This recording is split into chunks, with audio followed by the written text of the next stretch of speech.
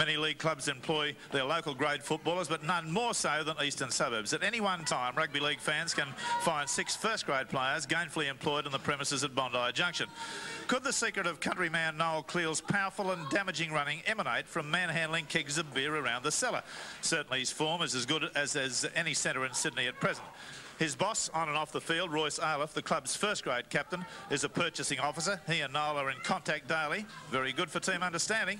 It's been said that John Lang is the most electrifying purchase made by the Roosters in many years. Certainly his profession of electrician to the club keeps him around and about his teammates who work and use the premises.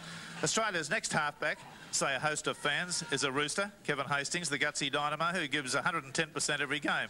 He's a poker machine mechanic at the club. Add Kerry Boustead to this list and you have half a football team under the one roof five days a week. It's almost like being on tour, and presently Easts are playing like that. They are the big improvers for 1980.